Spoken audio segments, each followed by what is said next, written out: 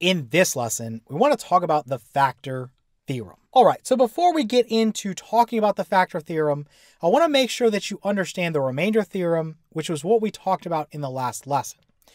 So if we have some polynomial function, let's call it f of x, okay? And it's divided by some linear factor, so let's call this x minus k. Again, the coefficient on x is 1, and the exponent on x is 1. So that's very important. So it's some linear factor, we call it x minus k when we think about this generically. Now, if I divide f of x by x minus k, the result will be some quotient, which we call q of x, plus some remainder, which we call r. So we can rewrite our polynomial function f of x in this way. So we have this divisor x minus k times our quotient q of x plus our remainder r. Now, if this doesn't make any sense to you, we'll look at an example in a minute. And also, let me just give you a quick example with some whole numbers so that it makes more sense. So let's say that you had the number 7 and you divided it by the number 3. So 7 is your dividend, 3 is your divisor, the quotient is 2, okay? But then you have a remainder of 1, okay? So what we would say here is that I could write 7 using this format as what? Well, my divisor here is x minus k. My divisor here is 3, okay? Then times, my quotient here is q of x. My quotient here is 2. Then plus, my remainder here is r. My remainder here is 1. So it's quite simple when you look at this with whole numbers. We have our divisor, 3, times our quotient 2, which is 6, plus our remainder 1, which gives us 7. Okay, so that's all we're really doing. It's the same thing. We just got to find a way to relate this to a harder concept when we work with these polynomial functions. Now, the reason this is important to write it in this format is that it makes it crystal clear about the remainder theorem, which tells us if we evaluate a polynomial function at some number, let's just call it k, so f of k is how we would notate that, the result is r. And the reason for this is simple. f of k is equal to, again, if I plug in a k for x, you'd have k minus k times q of k plus r. Well, this is 0. So you can erase this and put 0 here. 0 times whatever this is is 0. You can erase this. And 0 plus r is just r. So f of k equals r. That's what this tells us here, and that's the remainder theorem. Okay. So to see a quick example, let's look at this guy real fast. We have f of x equals x cubed plus 2x squared minus 21x plus 18. If we want to find out what is f of 2, well, of course, you can plug a 2 in everywhere there's an x, evaluate, and you've got your answer. But you could also say, well, what is the remainder from dividing this guy by, let's say, g of x is x minus this number here, whatever it is. So x minus 2 in this particular case. So the remainder from that would be the same as f of 2, okay? So the way we're going to do this is with synthetic division. So I'm going to put a 2 here. Whatever this number is, that's what you put there. And then I'm going to grab these coefficients only. Remember, if you're missing a power of x, you got to put a 0 in there as a placeholder. So I'm not missing any powers there, so I'm good to go. I'm just going to grab my coefficients. This guy's a 1, this guy's a 2, this guy's a negative 21, and this guy's an 18. Okay, so you remember how to do this. Draw a little bar down here. Go ahead and drop this down. I'm going to scroll down and get some room. I'll come back. So drop this down. So now we're going to multiply. 2 times 1 is 2. Then we add. 2 plus 2 is 4. Then we multiply. 2 times 4 is 8. Negative 21 plus 8 is negative 13. So then we multiply. 2 times negative 13 is negative 26. And lastly, we're going to add. 18 plus negative 26 is negative 8. So this is your remainder. And so that tells me that f of 2 is negative 8. But what we can also do is take this answer here. This would be your quotient, right? And the way you get this is that our polynomial, let me just scroll up real quick. I'm just going to erase this and keep the answer part. Let me just bring this up here so it's all on the same screen for us and come back up here. I had this guy divided by this guy. So we always know it's of the form x minus k. So to take these numbers and make sense of them, all you do is you take this degree of the polynomial, in this case the highest exponent is a 3, this would just be 1 less. So this is the coefficient for, in this case, to be x squared, because 3 minus 1 is 2. Okay, So 1 would be the coefficient for x squared. Then you would have plus your 4x, and then minus your 13. Okay, so this would be your quotient. So let's erase this real quick. We know the remainder is negative 8. But again, I could write this. Let me just kind of scooch this down so we can really draw this point home. So f of x could be written as this times this divisor here, and I can change the order around. It doesn't really matter. And then we can put minus 8 here, okay? So if you pause the video and you go through and multiply this by this, and then subtract away 8 from that, you'll get back to this exactly, okay?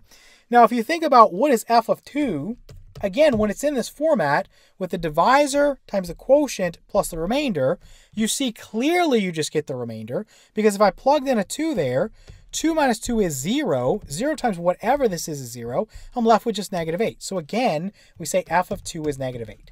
So hopefully that drives home what the remainder theorem is and how it works. Now, let's move on and talk about the factor theorem, which again, if you understand the remainder theorem, is very simple. So if f of x is equal to x minus k, again, our divisor, which is a linear factor, times this q of x, which is the quotient, plus r, and we find that f of k equals 0, well then what? It means that this times this gives me this, right? There's no remainder or a remainder of 0. Okay, so that tells me that x minus k is a factor of f of x. We also know from the last lesson that if f of k equals 0, then k is known as a 0, or you could say it's a root or a solution, or really they're the x-intercepts if you're talking about k being some real number. Now, Let's look at a couple of examples. Let's say that we have the same f of x, but we're going to change our value for k. In this case, it's going to be 3. So f of x again is x cubed plus 2x squared minus 21x plus 18. Now we want to know what is f of 3.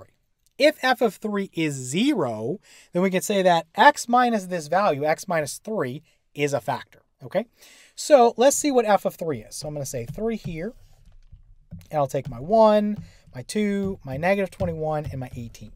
Let me get some room going just so we're not jammed up on here. Drop this down and get started. 3 times 1 is 3. 2 plus 3 is 5. 3 times 5 is 15. Negative 21 plus 15 is negative 6. And then 3 times negative 6 is negative 18. 18 plus negative 18 is 0. Okay, so the remainder here is 0. So that tells me, since f of 3 is 0, that x minus, again, whatever this number is, in this case it's 3, x minus 3 is a factor, okay? So x minus 3 is a factor of this guy right here, okay?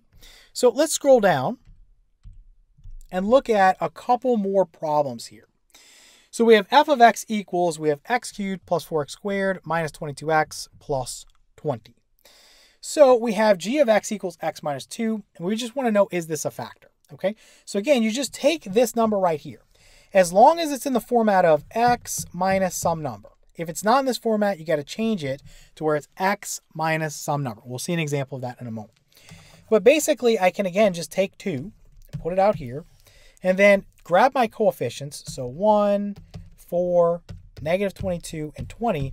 And I'm just going to see is the remainder 0. If it is, then x minus 2 is a factor. If it's not, then x minus 2 is not a factor. So let's go ahead and drop this down. 2 times 1 is 2. 4 plus 2 is 6. 2 times 6 is 12. Negative 22 plus 12 is negative 10. 2 times negative 10 is negative 20. 20 plus negative 20 is 0. So there's no remainder here. So I can say, if we kind of go back up here, that x minus 2 is in fact a factor, right? Because we can say that f of 2 is equal to 0. All right. Let's take a look at a longer one. So we have f of x equals x to the fifth power plus 2x to the fourth power minus 6x cubed minus 12x squared minus 16x minus 32. Is g of x, which is equal to x plus 3, is that a fact? Again, you want this in the form of x minus k to make this work. You have a plus there. If you see that, you've got to change it. Okay, it's a very common mistake to just put 3 out there and then to get the wrong answer. Okay, so you want to make sure you change this and just say this is equal to x minus a negative 3. So that's in that format, and then you grab whatever this number is. Minus whatever this number is, that's what you're going to say. So is f of negative 3 equal to 0? So that's a question mark. Again, we're just going to use some synthetic division. So I'm going to say that I have negative 3. Grab my coefficients. I've got a 1, a 2, a negative 6, a negative 12, a negative 16, and a negative 32. And a lot of these problems are going to get quite tedious, so you just have to be prepared for that. Okay, so let's scroll down, get some room going. Let's drop this to here. Negative 3 times 1 is negative 3. 2 plus negative 3 is negative 1. Okay, so negative 3 times negative 1 is going to be 3. Negative 6 plus 3 is negative 3. Negative 3 times negative 3 is 9. Negative 12 plus 9 is negative 3. And then negative 3 times negative 3 is 9. Negative 16 plus 9 is negative 7. And negative 3 times negative 7 is 21. Negative 32 plus 21 is going to give me negative 11. So this is not 0. Okay, this is not 0. So f of negative 3 is negative 11. And so I can say that this g of x, which is x plus 3, or you could say x minus a negative 3, is not a factor of f of x. Okay, let's look at the same f of x, but we're going to change kind of our divisor. We're going to call it h of x now, and now it's x plus 2. So same thing. In this case, it's plus, so change it to x minus a negative 2. Very important you do that. Again, it's a common mistake. I can't say that enough. So you want to take your negative 2, and again, just see if the remainder from this guy is 0. So we would have a 1, a 2, a negative 6, a negative 12, a negative 16, and a negative 32. Okay, so that's everything. So let's go ahead and scroll down a little bit. Okay, so let's go ahead and drop this and get started. So negative 2 times 1 is negative 2. 2 plus negative 2 is 0. Negative 2 times 0 is 0. Negative 6 plus 0 is negative 6. Negative 2 times negative 6 is 12. Negative 12 plus 12 is 0. Negative 2 times 0 is 0. Negative 16 plus 0 is negative 16. Negative 2 times negative 16 is going to be 32. Negative 32 plus 32 is 0. So that's your remainder. It's 0, right? Meaning you don't have one. So that tells me that x plus 2 is a factor, right? So you can say h of x is a factor of f of x. All right, so let's look at another common problem that occurs in this section. So basically what's going to happen here is they're going to give you one factor and they expect you to find the other ones, okay? So we have f of x equals x cubed minus 7x squared plus 14x minus 8, and our factor is x minus 2. So what that means is that if I plugged in a 2 for x, so if I had f of 2, this is 0, right? They're telling us that, okay? So what I can say is that if I plug in a 2 there, and I do my synthetic division, so I have a 1, a negative 7, a 14, and a negative 8. I'll do this, I'll get a remainder of 0, and I'll take that quotient, and then I'll try to factor that further, okay? So let's go ahead and crank this out. So I'll drop this down. 2 times 1 is 2. Negative 7 plus 2 is negative 5. 2 times negative 5 is negative 10. 14 plus negative 10 is 4. 2 times 4 is 8. Negative 8 plus 8 is 0. Okay, so I don't need this part. And again, when we think about this, if I go back up, this guy has a degree of 3. So the answer will have a degree of 2. So if I erase this, I'll say that my answer here is just x squared, and then minus 5x, and then plus 4. Okay, so that's how this would go. So this times this would give me this, right? I could say f of x is equal to this, right? We already know that. Now, let's think about factoring this guy. So this is a quadratic, very easy to factor. So we have x here and x here. And we need two integers that sum to negative 5 and have a product of positive 4. So we can get negative 4 and negative 1, right? Because negative 4 times negative 1 is 4, and then negative 4 plus negative 1 is negative 5. So negative 4 and negative 1. And let me write that in a more compact manner. So I'm just going to say f of x here is equal to x minus 4 times x minus 1 times x minus 2.